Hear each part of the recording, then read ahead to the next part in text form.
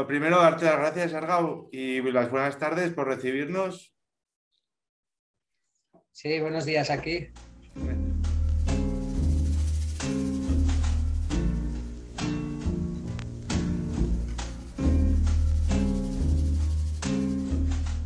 ¿Dónde estás y por qué te fuiste? Vale, ahora mismo estoy en California, Estados Unidos, en la ciudad, bueno, el condado de San Diego, que es la ciudad más al sur de California. Eh, he estado cuatro años y medio en México y de ahí me he movido aquí.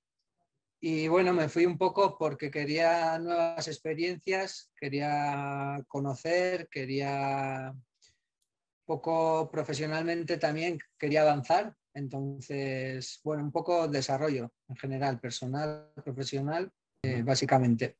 ¿Cómo fue tu llegada? Primero a México y luego a Estados Unidos. Pues México eh, es un país de muchos contrastes, la verdad. Eh, cuando llegué fui muy, buen muy bien recibido, la gente allá es, la verdad que es muy amable. Eh, llegué a la Ciudad de México, con lo cual, bueno, imagínate de un pueblo como Tafalla a vivir en una de las ciudades más grandes del mundo, pues el, es un impacto grande, ¿no? El cambio bastante grande. Por un lado, a ver, eh, pues se habla castellano, entonces es fácil la comunicación, culturalmente tenemos muchas cosas parecidas, pero bueno, es totalmente otro mundo, digamos. ¿Y a Estados Unidos? Y en Estados Unidos, pues bueno, no llevo mucho tiempo y me cambié en medio de la pandemia. Entonces, bueno, ha sido bastante suave respecto a que tampoco es que hayamos hecho mucha, mucha vida, ¿no?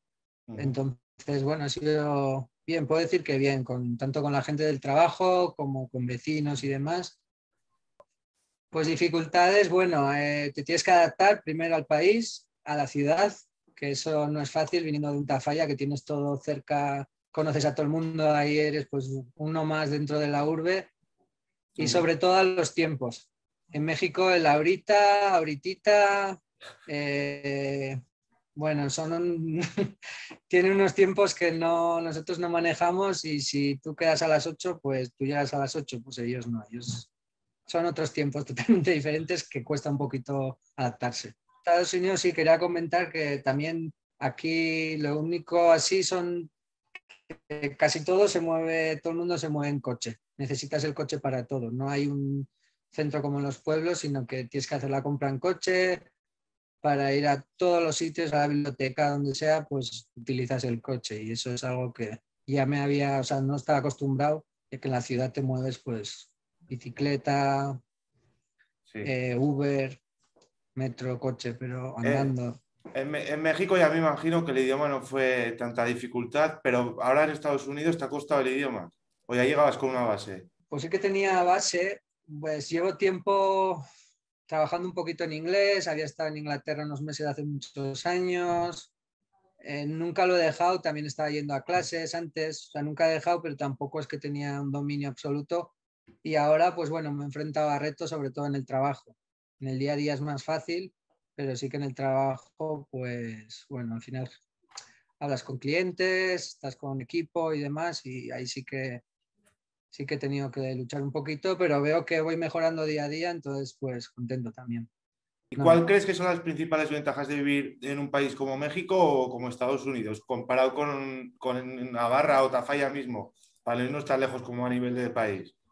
Ventajas, pues por un lado que al ser un país México con tantas diferencias sociales, con un salario bien, eh, puedes hacer muchas más cosas de las que haces en España. Tienes acceso a muchas más cosas, ¿no? a más servicios. Eh, por otro lado, tienes el Caribe, tienes unas playas increíbles. También, o sea, el fin de semana ya es como te puedes ir a cualquier sitio, a cualquier playa que es paradisiaca, ¿no? Y aparte una de las ventajas es el tiempo también, que siempre es verano, ¿no? Primavera, verano, entonces... La hablas de Caña Sur, ¿no? sí, bastante. Bueno, todo lo que he podido. Los salarios son bastante buenos. La calidad de vida aquí en California, pues es de las, digamos, de las mejores de Estados Unidos. El clima donde estoy ahora mismo también es muy bueno porque está en el sur de, de California, pegado a México. Mm, hay cuatro días de invierno, se puede decir, y la verdad que es muy agradable el sitio. ¿Y las desventajas de México y de California? México, sobre todo la inseguridad. Yo en los cuatro años y medio no he tenido ningún, o sea, ningún percance ni he visto nada así, pero bueno, eh, ves las noticias y la verdad que es un poco alarmante. Y uno de los motivos por qué decidí moverme también, pues era porque, bueno, ya tengo familia y quería estar un poco más tranquila en ese sentido. He viajado mucho por México y la verdad que no he tenido ningún problema, pero es un país complicado. Y en Estados Unidos el tema la, la comida también. No sé, aquí no hay esos productos que tenemos y si los hay son muy caros. No se ve tanta verdura, no se ve, bueno, pues muchas de las cosas que nosotros comemos en el día a día, que ahora me parecen manjares, antes no les daba el valor igual. Y no sé, ahora comería una menestra súper a gusto, la verdad.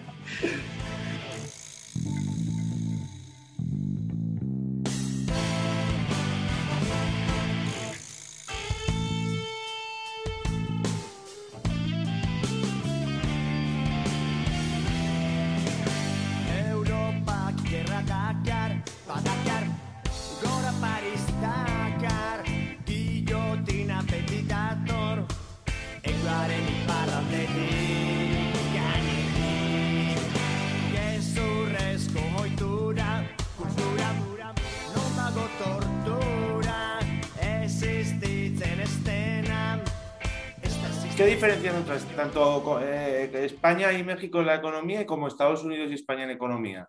Pues mira, México es un país muy rico, pero está, la riqueza está mal repartida. Los que tienen dinero tienen muchísimo dinero, pero la mayoría de personas no tiene dinero. Ves gente viviendo en cabañitas de madera, ves gente que no tiene ni para comer, pidiendo en la calle bastante. Hay mucha pobreza en México básicamente por eso, porque aún siendo un país rico no está bien repartido. Y así como en España ves más o menos clase media baja todo el mundo, ¿no? Digamos media baja, lo digo por, puede ser media. Todos tenemos un nivel adquisitivo bastante bueno, podemos tener coche, casa, etc. Pues ya es más, más, diferenciado eso. Y aquí eh, se basa mucho en la economía. Estados Unidos se basa mucho en la economía, en el dinero y sí que tienen, tienen mucho poder adquisitivo, pero también se meten en muchas hipotecas. O sea, crean un círculo de créditos, adquisición, de, pues, de, bienes, etc., que la verdad que no tenemos esa, esa visión en España. Eh, entonces también hay un historial crediticio, por ejemplo, aquí en Estados Unidos, que pues vas generando ¿no? con, con el tiempo según tu utilización de tarjetas y demás. Y en España, pues esa no está tan, tan enfocado a eso. Pues la verdad que me gusta mucho cocinar, entonces cocino mucho en casa, busco, intento buscar productos de, de allá e intentar cocinar mucho similar a lo que cocinaba en Tafalla, ¿no? Al principio me gustó mucho en México, luego de repente sentí un poco de rechazo porque no, o sea, no rechazo, pero de repente que me empezaron a todos pues, los olores, las comidas y luego otra vez eh, una vez que entras en la dinámica, se come mucho en la calle, por ejemplo, en México, ves a gente de corbata y traje que sale de la oficina y está comiendo de pie en la calle unos tacos y así, y, al final te haces. La verdad que la gastronomía es bien, bien variada en México. Bueno, igual variada no, no lo diría yo porque no tiene mucha variedad, pero sí que con lo que tienen hacen muchos platos ricos. Y en Estados Unidos es todo a lo grande no existe una hamburguesita pequeña, sino son todo, o sea, son porciones que entiendes luego por qué la gente está como está. ¿Qué tradiciones o costumbres o cosas típicas tienen México o Estados Unidos que nosotros no conozcamos, que no sean muy conocidas? Mira, en México hay muchas tradiciones prehispánicas que se han ido perdiendo y ahora están un poco recuperando también. Eh, y tradiciones que se han ido manteniendo también por ejemplo, pues las religiosas, ¿no? Como la Virgen de Guadalupe y demás, te sorprendería lo que la gente, el sentimiento que tiene, ¿no? Hacia, hacia San Judas Mateo, a la Virgen de Guadalupe y así. Luego hay otras tradiciones, pues como idiomas que tiene México, es de los países con más idiomas en el mundo. Muchos están desapareciendo, o sea, realmente hay una cultura de fondo bastante, bastante grande. Las pirámides, o sea, tienen, tienen culturalmente es muy rico México y Estados Unidos, pues es un país bastante nuevo en ese sentido. Lo que he visto, por ejemplo, que les gusta mucho todo el mundo tiene aquí autocaravanas. En ese sentido, pues, pero no veo una cultura arraigada así ni, de años, ¿no? Como, como puede haber en México. ¿Qué, echas de menos de aquí? ¿La familia, el pueblo, el modo de vida? ¿Qué es lo que más dices, buah, que a gusto haría ahora esto y por estar en Estados Unidos no lo puedes hacer? Pero si estarías aquí en Tafalla lo harías. Bajarme a echar una cerveza con los amigos sobre todo y pues bueno, pues ir a visitar a la familia, ¿no? Eh, al final a distancia, otros, durante otros tiempos he estado más a Tafalla, ahora con la pandemia pues está un poco más complicado la verdad y ya como un año que no voy, pero sobre todo eso, el, a pesar de que hablo mucho con ellos, incluso más que antes, ¿no? Por, por WhatsApp y llamadas, videollamadas y demás, pero no es lo mismo, al final dar un abrazo Yeah. No tiene que ver.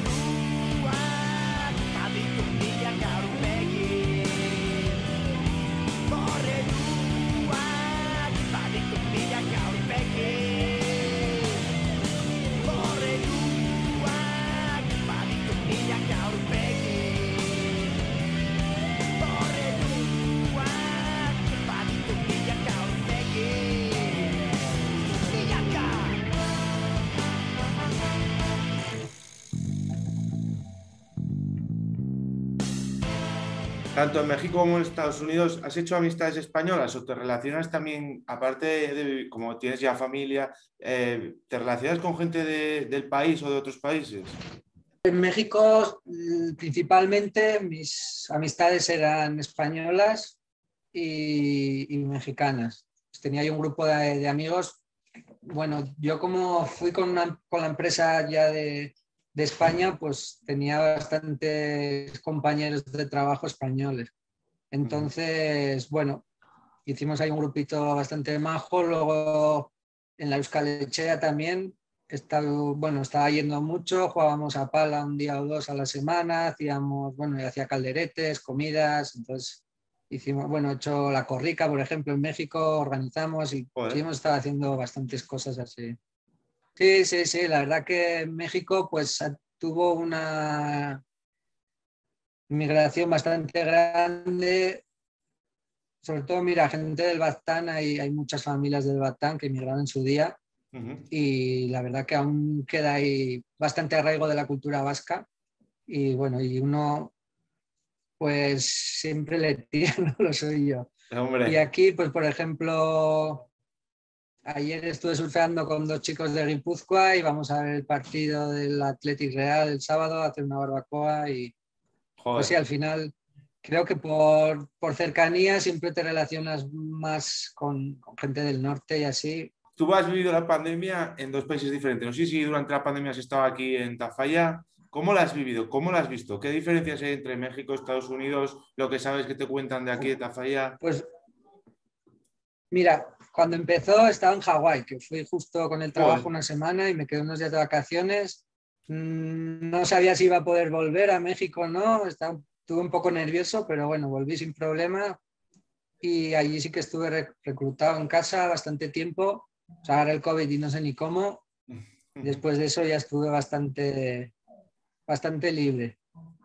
Y la verdad que tranquilo. Eh, las diferencias, básicamente en México qué decirte, es que es un país tan grande y tan diferente, pero en ninguno de los sitios he visto eh, la, digamos, falta de libertad que ha habido en España. En España se, ha bloqueado bastante, se ha dejado, más bien se ha obligado a estar en casa. Sí, se ha obligado. en otros países era recomendado. Se ha obligado, en otros países era recomendado. Aquí estoy viendo que en Estados Unidos la vacuna la están poniendo, déjame hablar, a, a toda leche, por decirlo así. Y en México va a ser más complicado porque hay tantos millones de personas, no es un país que tenga, digamos, mucho poder en ese sentido y va más lento. Pero pues lo que he visto en México, que la gente pobre seguía haciendo vida normal y la gente con, con más recursos se quedaba en casa. Al final tú no puedes obligar a alguien que está trabajando el día a día para llevarse un plato de comida a la boca que se quede en casa. Entonces, eso es lo que la gran diferencia es esa, que en México la gente seguía haciendo su vida normal, sobre todo el que no podía estar en casa y el que estaba, estaba. Pues hay ciertas restricciones, con, sobre todo con los restaurantes y así, pero bueno, yo veo que la gente, como no hay una vida social tan grande como en España, la gente hace bastante vida normal. O sea, yo, por ejemplo, voy al trabajo, vuelvo, estoy, digamos, por el barrio, igual con la niña en el parque y demás, y pues, a la playa el fin de semana, la gente manteniendo su distancia, con mascarilla casi todo el mundo, pero no hay esas restricciones que hay en España, para nada. ¿Tienes pensado volver a Tafalla? ¿Qué planes de futuro te planteas? Pues Sí, tengo planeado algún día, está claro. Pero cuándo, no sé, no sé. Eh, de momento estoy descubriendo este país, acabo de aterrizar, como quien dice, entonces todavía me queda por aquí un tiempo. Y sí, en un futuro, claro. Sí, sí. ¿O te gustaría conocer algún otro país, aparte de ir de vacaciones? Porque yo sé que has viajado bastante y te ha tocado por, de, de ocio estar en más diferentes países, ¿no? Sí, pues, eh, pues Latinoamérica, la verdad que, bueno, Chile, Brasil he estado varias veces de trabajo también, como tres, pues está Nicaragua, Cuba, Costa Rica, Canadá estuve también. Bueno, he estado, sí que he viajado por América, no conozco Asia, podría ser otro punto de a posteriori, pero no, yo creo que yo creo que será la vuelta. Y ahora te, voy a pedir una, anécdota curiosa de México y otra de Estados Unidos, que digas, Buah, esto me ha chocado un mogollón. O algo que te haya ocurrido. Vale, pues mira, aquí me choca que hay un montón de gente viviendo en coches. Sí, eh, pues dentro de ser un país muy rico y con muchos recursos, el que se queda sin trabajo no hay unas ayudas sociales como tal, y eso que en California hay bastantes, ¿no? Si comparas con el resto de Estados Unidos. Y eso me chocó, ¿no? El ver tanta gente así homeless, pues la verdad que, que choca en un país como este. ¿Y de México? Oh, pues todo bastante, la verdad. Bueno, cuéntanos las que más te gusten. ¿Buenas o malas? Da igual. No, pues, por ejemplo, con, el tema del cártel de los narcos, y eso es, bueno, es delicado y, según por qué sitios, pues cuando viajas, pues tienes que tener cuidado y bueno. ¿Te ha tocado ver algo? Nada feo, pero ves que están ahí y que, bueno. Da respeto, ¿no? Que están, bueno, ellos Sí, no, en verdad ellos están haciendo sus, negocios, no, lo que, lo que menos quieren es... Pero no, así nada, nada feo.